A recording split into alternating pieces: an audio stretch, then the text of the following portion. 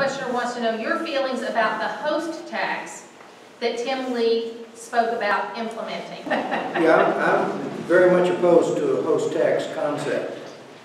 Um, And anytime I hear any political figure use the term fair tax, to me, that, that's an oxymoron. It's either a tax or it isn't. And I've never met a fair tax. When you are taxing businesses, I would like to remind everyone, if you are a businessman, and I have been the majority of my adult lifetime, businesses do not pay taxes. They write the checks. Whatever the cost of taxation to a business person is, they pass on to the consumer in the form of fees or prices for goods or services. So ultimately, the consumer pays.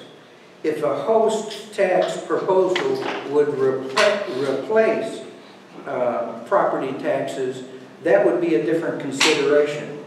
But this is in addition to property taxes, and it appears to me as though Cobb County hasn't seen a tax they don't love.